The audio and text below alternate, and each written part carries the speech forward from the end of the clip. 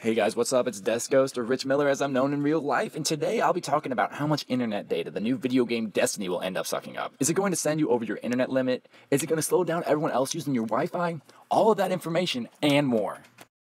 Firstly, will I go over my data limit playing this game? Okay, I've been playing the beta that was recently released and tracking my data usage. Now, keep in mind that this is just a beta and the netcoding can still be improved, but this gives us a fairly accurate usage statistic. Using this beta, I burned through about 100 megabytes an hour of gameplay, so that's roughly 10 hours of gameplay before I've used 1 gigabyte of data. I have a 30 gigabyte a month limit, so this really isn't that much of a problem for me, but if you have a low internet data limit, I would not recommend this game for you.